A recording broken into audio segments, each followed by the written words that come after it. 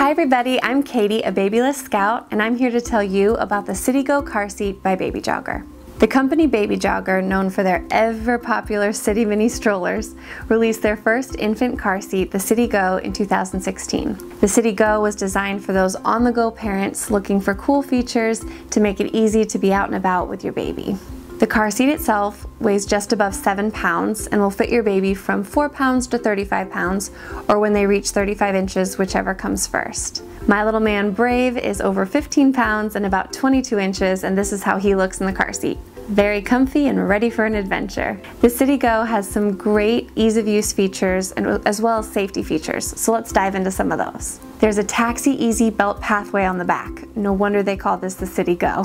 This shoulder belt guide for baseless installations makes it easy to hop into a cab or an Uber without having to lug around the base with you. The car seat comes with a body support, also known as an infant insert for babies weighing under 6 pounds, which you can use along with setting the straps at one of the lowest two positions for a safe snug ride for your little one. This infant insert is really soft and it's easy to remove once your baby's big enough to go without it. There's a no rethread harness height adjuster, making it easy to properly position the harness for your baby. There's a five point harness system as well as a large foam padded headrest for safety. This car seat is side impact tested, which is really important when you're looking at car seats. The harness straps can be tightened or loosened using the release button at the bottom of the car seat. You can also adjust the height of the headrest and the harness straps using that height adjuster located behind the car seat. The City GO has a canopy that is much larger than most and has UV50 sun protection.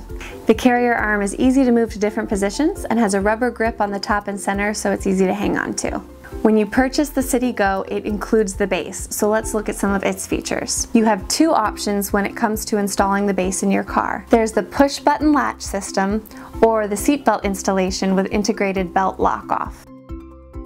The base has six recline positions, which you can adjust by turning the lever on the base. There's a bubble recline indicator to let you know when you're level in your car. The car seat and base are an easy click connect to attach, and by pulling up this lever on the back, you can release the car seat from the base. Something really exciting about this car seat is that you can make it a travel system.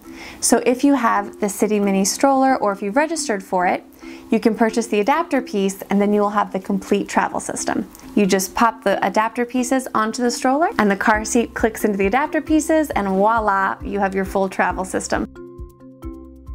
So we've talked about some features of the car seat and the base, now let's talk about some considerations if you're thinking of purchasing this or adding this to your registry. Some parents feel the head restraint gets too warm for their baby.